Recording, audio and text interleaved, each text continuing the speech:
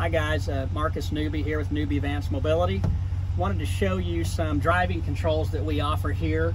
Uh, this is a wheelchair accessible truck, but I wanted to show you some unique controls that we offer to allow people to drive uh, in a different way.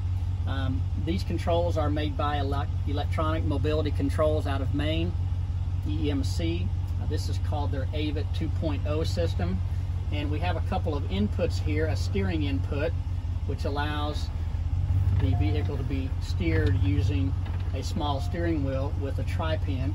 And we have an input device here which operates the gas and brake using an input here.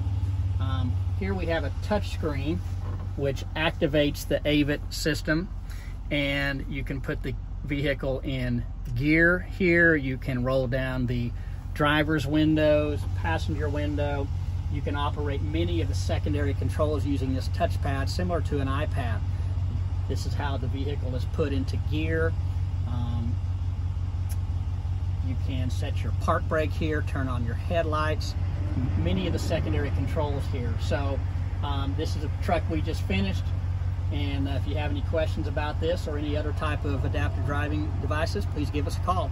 Again, it's Marcus Newby with Newby Vance Mobility at the John Vance Auto Group just north of Edmond.